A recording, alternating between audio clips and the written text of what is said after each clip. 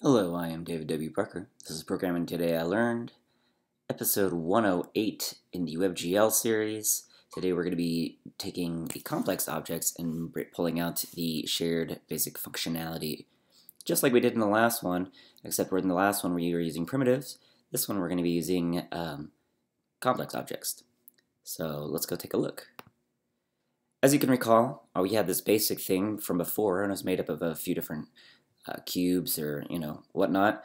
And um, a lot of the functionality was similar to the uh, basic renderers, but this one had a slightly difference in that it had different read states and draw states. It had this rendering it called the render draw objects on itself, and had the ability to draw or uh, opaque and blend and know what it's supposed to be doing, and doing what it needed to do in, uh, beforehand. So in this case, it's computing the model matrix for every uh, individual object. So we have our proper translations and whatnot done.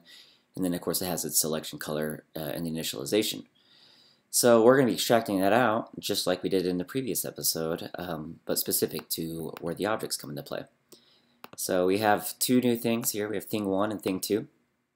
And they, of course, each have their own selection color and translation. These now look like um, kind of what the other one was, but as opposed to having the attributes objects being sent in, we're basically just setting this object type and objects list, and then we're setting that into this basic complex object.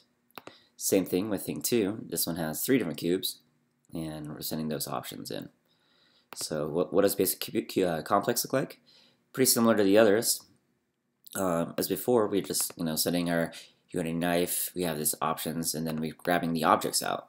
And then everything else is pretty much the exact same as before. We're able to just extract that out uh, just as is, and that allows us to have what we see here. So we have these two different objects, thing one and thing two, and they each have all the shared functionality, So we only have one place to change in our source code, and yet they're different.